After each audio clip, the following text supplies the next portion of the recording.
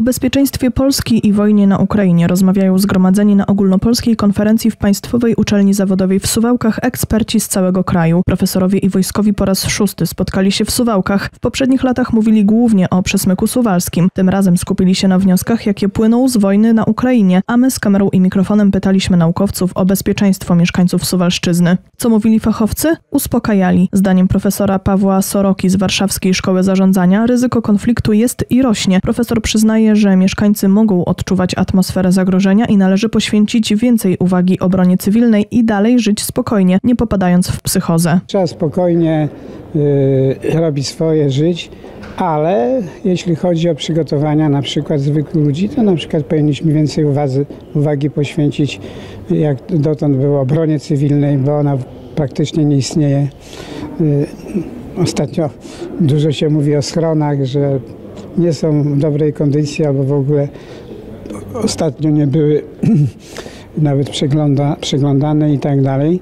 Także na wszelki wypadek, na złe scenariusze trzeba się przygotowywać, ale nie można też popaść w psychozę jakąś, bo to po pierwsze jest niezdrowe psychicznie, a po drugie to y, człowieka no, ogranicza w jego czynach, w jego normalnym życiu. Optymistyczniejsza wydaje się prognoza profesora Jarosława Wołejszy, dyrektora Instytutu Nauk o Bezpieczeństwie Uniwersytetu Kaliskiego. Zdaniem eksperta mieszkańcy Suwałk mogą czuć się bezpiecznie, bo potencjał militarny Rosji jest mocno osłabiony wojną i nie szuka ona kolejnego frontu. nie mają na tyle możliwości, nie mają sił, nie mają środków do walki, żeby myśleć, myśleć w kategorii, że jeszcze wybiorą się tu na wschód, na Litwę, Łotwę, Estonię, zamkną przesmyk suwalski, będą niebezpieczeństwem dla tych mieszkańców, dla tego tak zwanego przyzwoi Jana Kowalskiego, który tu no, mieszka i no, chciałby dalej tutaj mieszkać, prawa inwestować w dzieci, rodzinę, a nie przenosić się gdzieś na południe Polski, a najlepiej aż za Wisłę, jak to niektórzy twierdzą, bo tam będzie spokój. Nie,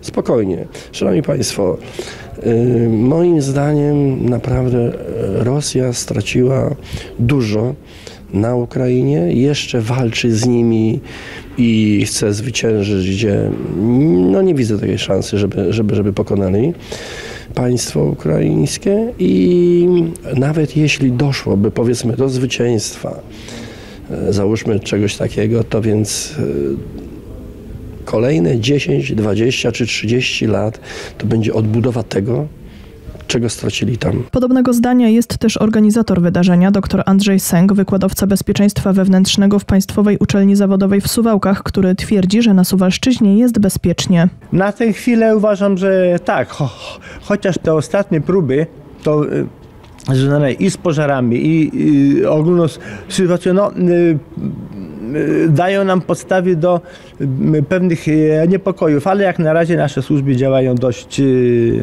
efektywnie. Gośćmi byli m.in. politycy i samorządowcy. Jacek Protas, sekretarz stanu w Ministerstwie Funduszy i Polityki Regionalnej Polski, zapewniał, że rząd czyni starania, aby złagodzić skutki wojny na Ukrainie. Chodzi m.in. o pomoc przedsiębiorcom i program wsparcia przygranicznych samorządów. Po pierwsze, uruchomiliśmy już program wsparcia dla e, powiatów z północno-wschodniej części kraju 500 milionów złotych e, dla samorządów. Po drugie, uruchomiliśmy program Czyli wsparcie dla przedsiębiorców branży hotelarsko-gastronomicznej, które, które straciły e, w ostatnim czasie, zwłaszcza w okresie pandemicznym, e, te nabory i zarówno w jednym programie, jak i w drugim programie e, już funkcjonują.